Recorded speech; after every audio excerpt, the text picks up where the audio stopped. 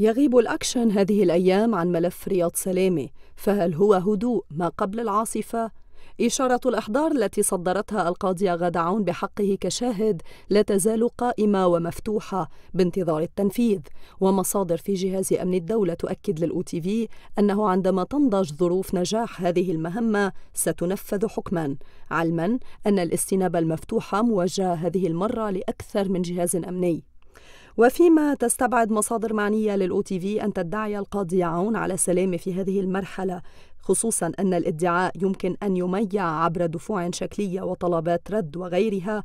تتوقع أن يتم الإدعاء على حاكم المركزي الثلاثاء من قبل مدعي عام التمييز القاضي غسان عويدات وذلك على خلفية قضية أخرى وهي مرتبطة بملف شركة فوري التي يشتبه أنه وشقيقه رجا استخدماها كغطاء لعمل احتيالي سمح لهما باختلاس أكثر من 300 مليون دولار من مصرف لبنان.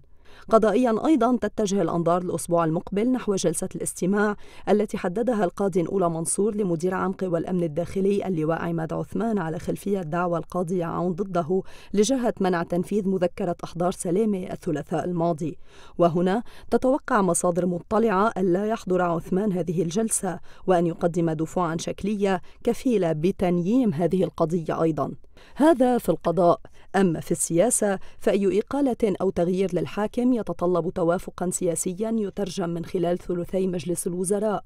مواقف الأفرقاء كلها باستثناء التيار الوطني الحر ليست في هذا الاتجاه عدا عن تعذر إيجاد البديل حتى الآن.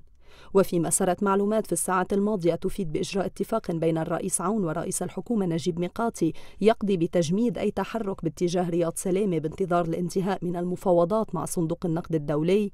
نفت مصادر مطلعة هذا الأمر وقالت للأو تي في الرئيس لا يفاوض على القضاء أصلا. أما حجة انتظار انتهاء المفاوضات مع صندوق النقد فهي إثبات إضافي على أن هذا الملف يتطلب حاكما يحوز الثقة وليس حاكما ترهقه المحاكمات القضائية. الفضائية